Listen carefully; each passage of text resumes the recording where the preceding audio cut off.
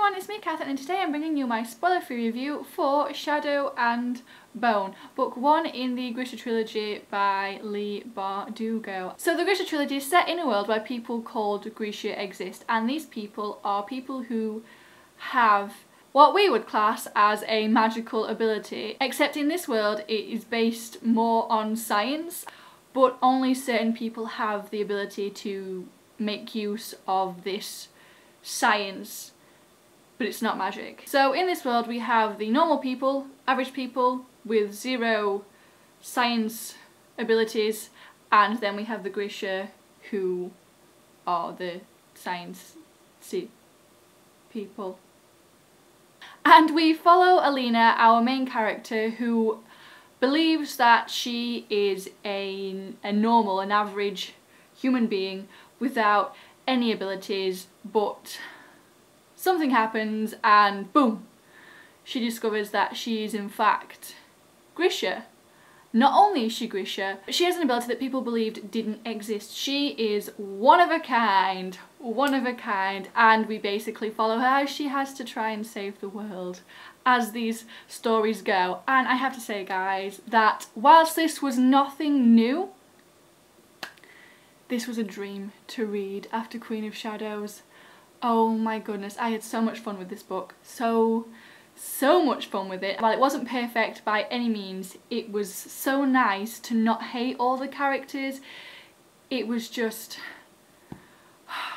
So obviously I've already spoken a bit about this world, so this, it is set in this world where this sort of, I will call it a magic system even though they don't call it magic because in this world magic is, they have magic but magic is something different. It's not it's not the same. It's not the same. So they class this magic as science, which I, which I was actually quite interested in, but we don't really get to learn much more about it, which was one of the downsides I had to this. So while this ability system that they have is called science, not magic, I would have liked to learn more about how because even though it's not magic, only certain people have the ability to use it and only certain people have certain abilities. So we have people, oh my god I've forgotten all their names. There are the, it's there's etherealki, material, material, material, materialki, and I forget corpor, corporeal, corporeal, corporealki, corpor, I will put them on the screen somewhere because I was never sure how to pronounce them anyway. So they're split into mainly three three groups. There's people, the corporealki, their abilities lie with the human body when they split into either healers or heart renders. So healers obviously are people that heal people and then we have the heart renders which are the fighting on the fighting side of things then the materialki are people who create.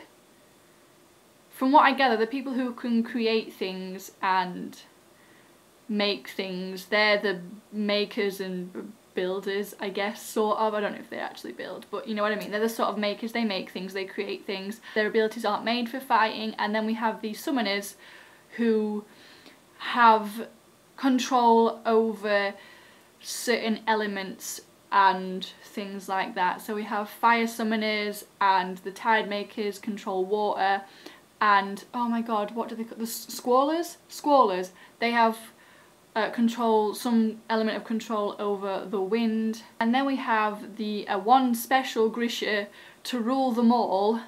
This is literally what it is, and that is the Darkling. And he's the only person that has this ability, and he has control over darkness over darkness and the Darkling is the Grisha who rules over the other Grisha.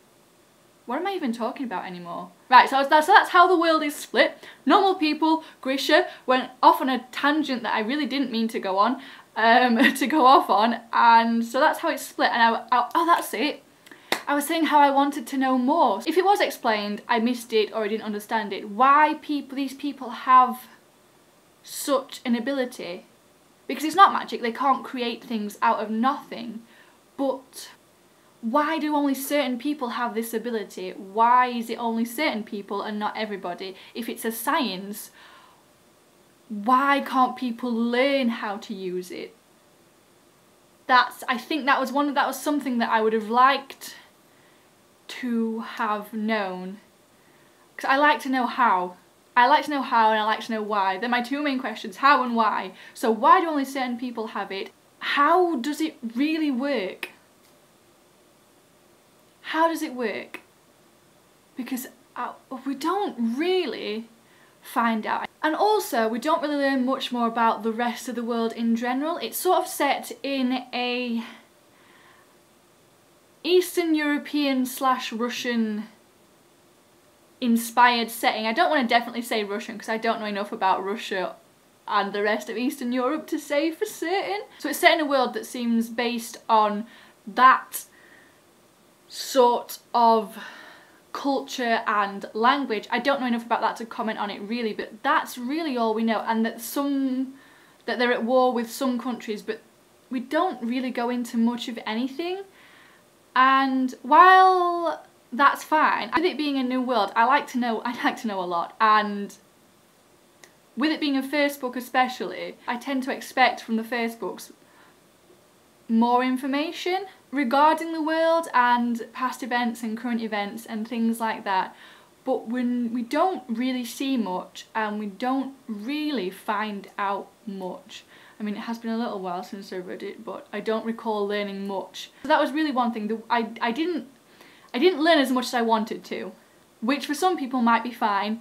For me, I liked I like to know. I like to know and I didn't. And so that was a bit of a downside. And also, this is nothing we haven't seen before. It's nothing new, nothing groundbreaking, but it was still it's such a I feel found it to be such a fun read, such an easy read, such an so nice to not hate everybody. And while Alina did bug me at times, that was down to her being flawed on purpose. Purposefully flawed as a character, and I'm fine with that.